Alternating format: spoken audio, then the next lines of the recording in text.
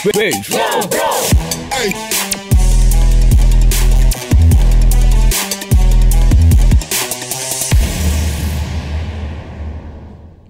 Hai, surfers balik lagi sama gue ya, Ika Liva di Bincang-Bincang Cetar. Well, kali ini gue bakal mau kasih itu uh, reaction uh, pada video yang, yang lagi ngetren-ngetrennya ini di YouTube Indonesia. Uh, siapa lagi kalau bukan dari uh, video YouTube-nya si Mbak KKI, oke? Ini emang lagi trending banget sih. Gila, gila, gila, gila, gila. First of all, ya kan, I would like to say congratulations. Selamat banget buat KKI yang udah trending nomor satu di Indonesia. Itu menurut gue itu sebuah achievement banget. Even like um, jujur aja ini sebenarnya arasemennya ini agak-agak unik ya. Karena uniknya kenapa? Ini tuh kayak uh, itu gue ini kan gue sebagai apa ya dibilang uh, gue bisa gue gue dulunya emang seorang penyanyi sinden ya kan? Jadi gue udah terjun di dunia uh, musik itu udah dari kecil gitu. Sebenarnya ini tuh uh, liriknya ini cukup untuk orang uh, usia remaja dewasa gitu ya bukan dewasa yang tit gitu bukan tapi dewasa yang istilahnya tentang percintaan walaupun arah semen musiknya ini agak ke anak-anakan gitu but that's fine. Itu itu yang menjadi nilai jualnya ya itu unik ya menurut gua. Uh, jadi beda dari yang lain gitu. Dan selain itu gua tuh juga ngelihat uh, pas uh, simak kayak ini itu diundang ke dunia manji ya kan? Di situ tuh dia tuh curhat takut kalau di penjara karena banyak orang yang um, bilang kalau ini tuh lagunya uh, jiplakan atau ngambil dari uh, lagu orang lain. Dan ketika gue cari tahu emang beneran jiplak? gitu ya. Sedangkan sebenarnya yang sama itu mungkin bagian aku bukan boneka boneka boneka. Itu itu doang sih dan sebenarnya kalau overall ya kan overall itu sebenarnya ini nggak nggak sama ya beda gitu dari arah semen musiknya beda. Lirik keseluruhannya juga beda cuman sama di bagian aku bukan boneka boneka boneka itu aja. Dan sebenarnya kalau misal pun dia nggak tahu itu harusnya it's okay gitu kan. Jadi janganlah orang itu pada pansos-pansos ya kan cari kesalahan-kesalahan lain untuk menjatuhkan um, sesama kreator jangan saling menjatuhkan ya kan? Harus saling mendukung satu sama lain. Kalaupun misalnya ada yang sama ya dibicarakan lah ya dengan sebaik-baik mungkin gitu. Dan tapi tuh sebenarnya tuh banyak orang banget yang istilahnya ngebully sama si mbak KKI ini.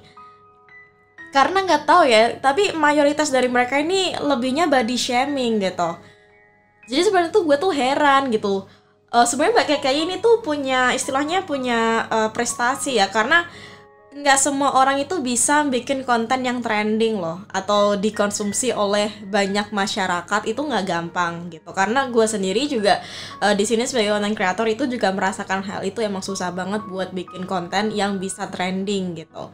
Dan ketika konten kita ini trending ini sebuah achievement ya kan? Kalau misal di perusahaan ini kayak uh, dibilang KPI atau Key Performance Index ya kan?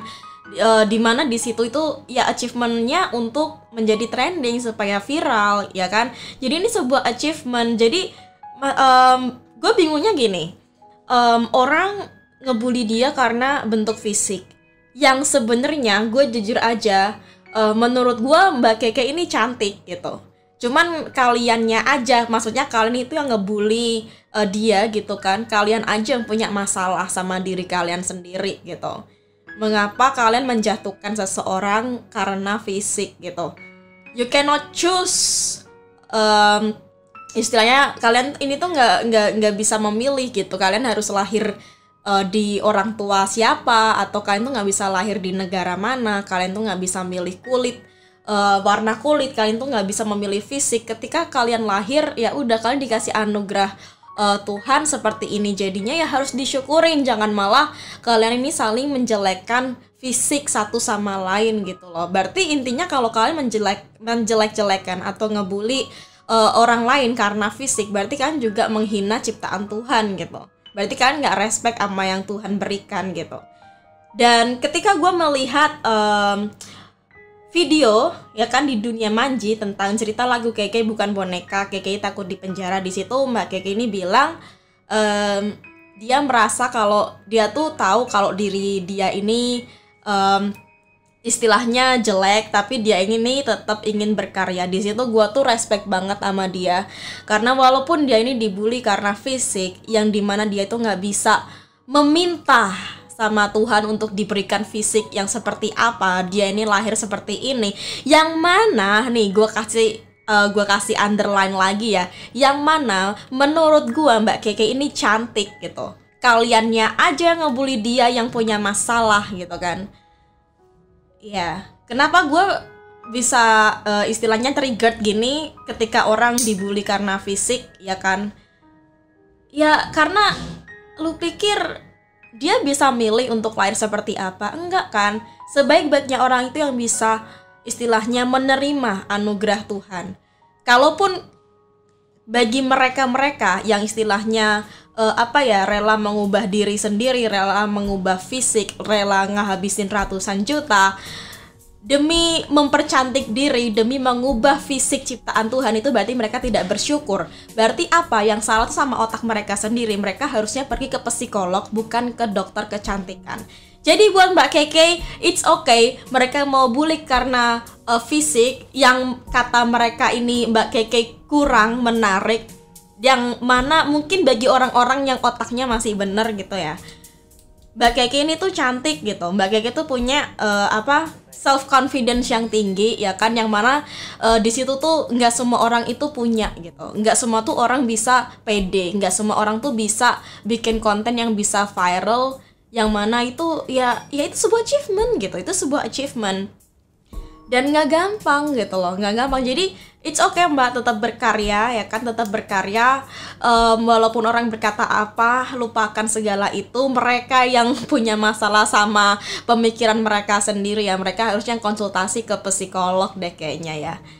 Uh -uh, karena kenapa kalian harus membuli fisik orang lain gitu? Kalau misal kalian nggak suka sama orang hanya karena dia ini menurut kalian kurang menarik terus kalian bully gitu.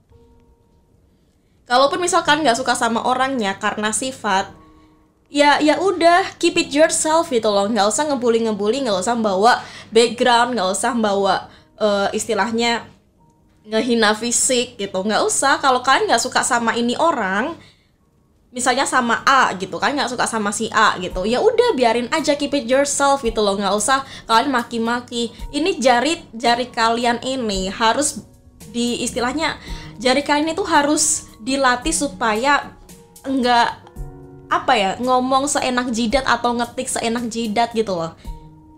Kalau kalian punya masalah kayak gitu kan harus konsultasi ke psikolog. What's wrong with you gitu bukan salah si A, bukan salah si B, itu salah kalian sendiri gitu. Kalian ter yang yang terlalu julid buat menjulitin orang lain. Sedangkan banyak influencer yang cantik yang mungkin kelakuannya itu di luar uh, adat dan juga culture kita gitu ya. Misalnya berpakaian yang uh, kurang sopan atau misal apa ya, menghina suatu kaum atau mereka ini rasis Cuman masalahnya mereka ini cantik, jadi kalian biarin aja gitu. Sebenarnya yang salah itu yang seperti itu. Tapi just because dia ini cantik, fisiknya menarik, kalian biarin aja gitu. Padahal perilaku yang mereka terapkan ini sebagian katanya influencer itu, ya kan? Itu salah. Kayak misalnya dia ini rasis, ya kan? Terlalu membanggakan kulit putih atau itu menurut gue toxic ya itu toxic itu harusnya dia ini uh, bukan ke dokter kecantikan tapi harusnya ke dokter psikolog sih. Uh, maksudnya um, psikiater dan juga psikolog sih gitu. Karena mentalnya ini yang bermasalah. You have to embrace yourself gitu loh. You have to be confident gitu. Yang bisa gue ambil dari amanahnya dari Mbak Keke ini dia itu orangnya berarti never give up ya. Mau orang ngomong uh, apa pun yang penting dia tetap berkarya tetap menghibur dan itu tuh sebuah apa ya menurut gue itu noble banget ya kan? Dia tetap pengen menghibur masyarakat walaupun masyarakatnya ini mayoritas menghujat dia tapi dia it's okay lah gitu. Itu menurut gue ini tuh sifat yang apa ya jarang orang bisa punya gitu sifat-sifat yang istilahnya nggak pernah menyerah tetap tegar walaupun dihujat sana sini. It's not easy tuh it's not easy. Itu nggak gampang loh jadi mbak Keke dan dia ini kuat.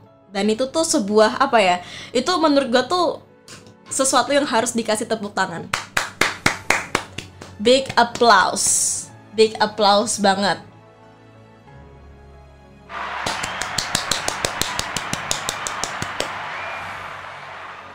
jadi It's okay mbak, walaupun orang ngehujat, it's okay ya kan, it's okay, biarkanlah mereka tetap menghujat, tapi buat kalian yang menghujat, kalian ini apa ya?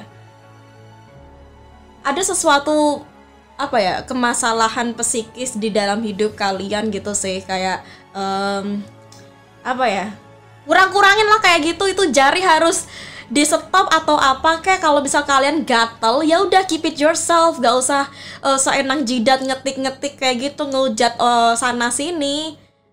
Hah, kenapa kalian nggak berkaca kepada diri sendiri? Kalian itu cantik atau enggak kalian itu um, udah perbuatannya udah bener atau enggak sebelum kalian ngehujat orang lain? Ah dan buat Mbak Keke, congratulations banget udah jadi trending uh, di YouTube Indonesia nomor satu jadi gue sebenarnya pengen banget tahu kayak istilahnya ngundang Mbak Keke buat masuk ke podcast ini. Serius. Jadi gue berharap uh, si Mbak Keke-nya bersedia. Karena gue udah ngecoba ngekontak, tapi ya semoga aja dia bersedia dan uh, istilahnya minat lah ya untuk masuk ke podcast ini. Supaya apa ya, gue pengen tahu kayak hal apa sih yang memotivasi dia ini tetap semangat walaupun dihujat sana sini and that's not easy tapi dia tetap tegar. Jadi ya apa ya itu sesuatu yang harus kita ambil ya kan sisi positif dari seorang uh, eh, KK ini gitu. Itu dulu di episode kali ini. Jangan lupa untuk klik like share dan subscribe. Jangan lupa untuk download waves di Play Store dan juga App Store kalian. See you in the next episode. Bye bye